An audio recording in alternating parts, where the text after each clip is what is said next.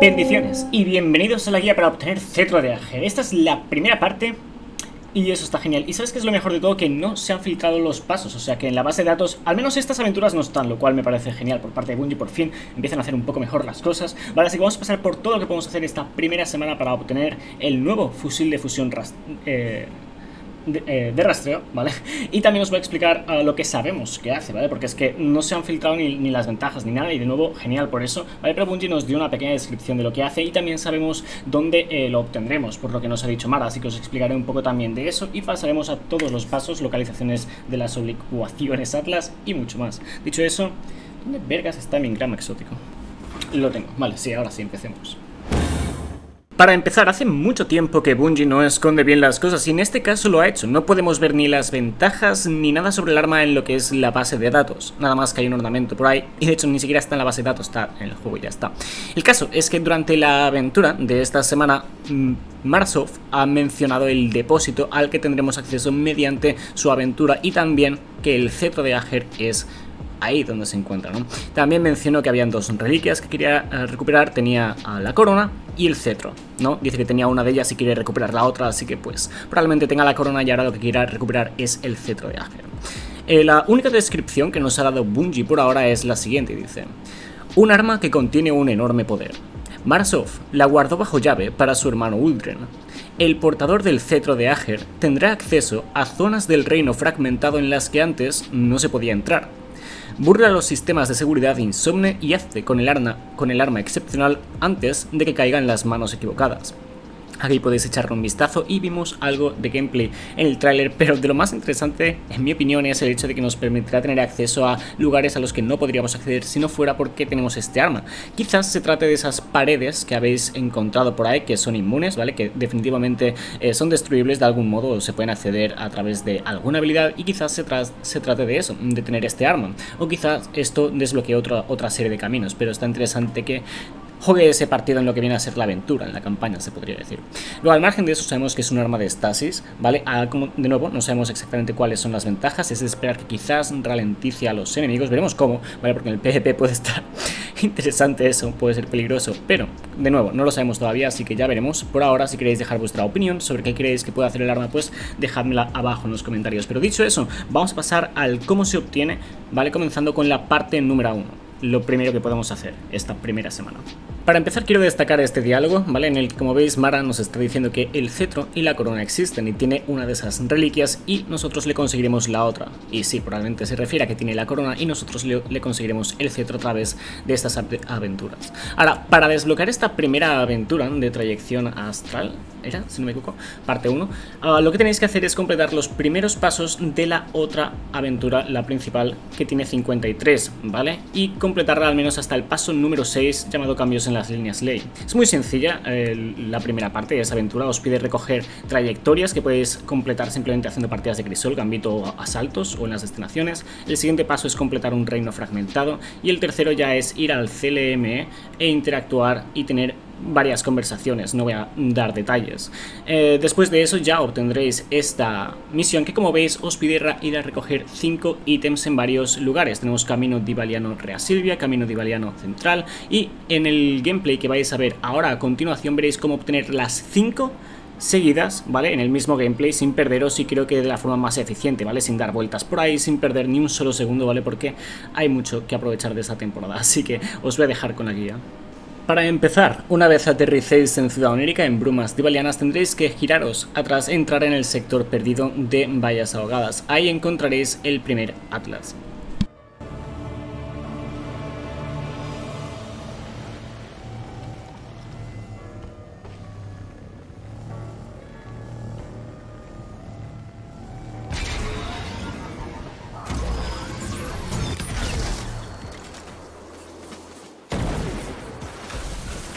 Luego para el siguiente, recomiendo que os teletransportéis de nuevo al punto de aterrizaje y tiréis totalmente en recto a la cueva central que veréis justo ahí.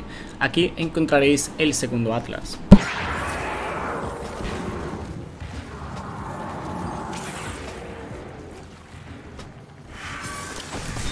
Continuando, desde el mismo gameplay os dais la vuelta, salís de la cueva y os dais media vuelta hacia atrás. Veréis que el tercero se encuentra ubicado en los acantilados inferiores, justo ahí delante.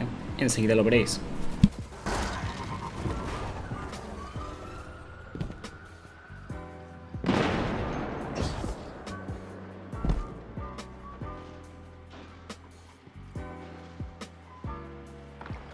Y ahora continuando con el mismo camino, subís por aquí, por este lateral, y seguís el camino que veréis de fondo en pantalla hasta llegar a la sala del oráculo.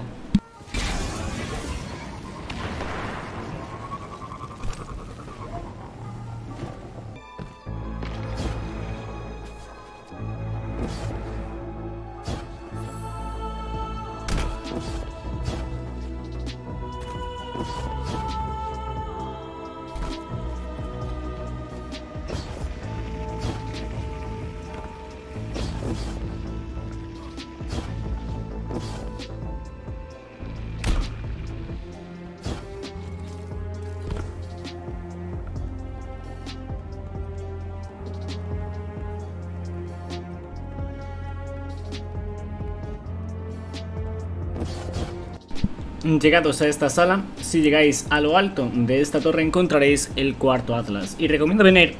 Dios.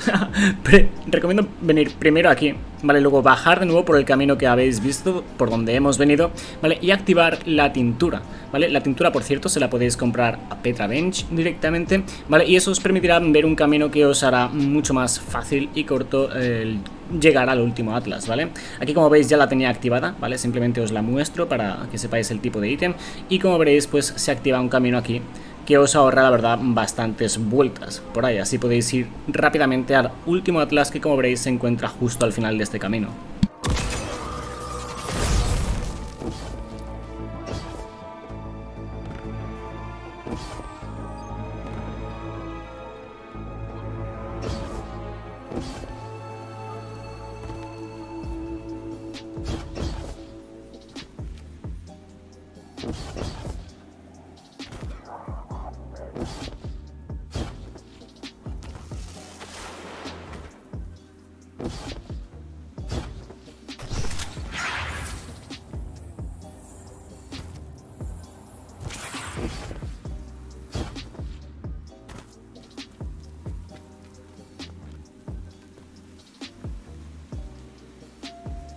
Una vez obtengáis las 5 piezas del Atlas, podréis acceder a esta misión única de un solo jugador, una coronación hueca, en la que podréis utilizar los Atlas y continuar con la aventura. Una vez dentro de la misión, veréis que podréis actualizar uno de estos cuatro artefactos con las oblicuidades Atlas que habéis recogido. Y como os digo, hay otros tres artefactos iguales a estos con las mismas ranuras para lo que parecen Atlas, así que es muy probable que haya al menos otras tres semanas en las que tengamos que recoger 5 más de estos Atlas, un total de 15 Atlas más, ¿vale? Bueno, lo que harían un total de 20.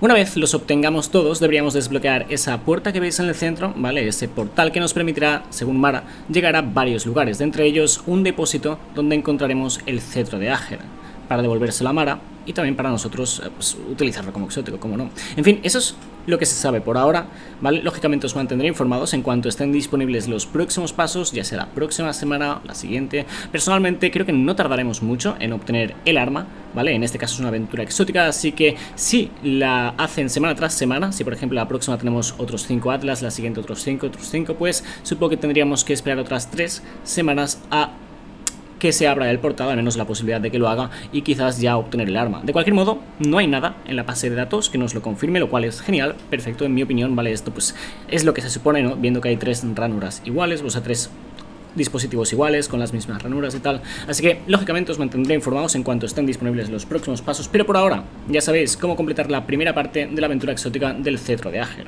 Dicho eso, como os he dicho, os mantendré informados. Bendiciones, decirle a vuestra madre que la queréis, suscribíos si no lo estáis y nos vemos en el próximo vídeo. Adiós.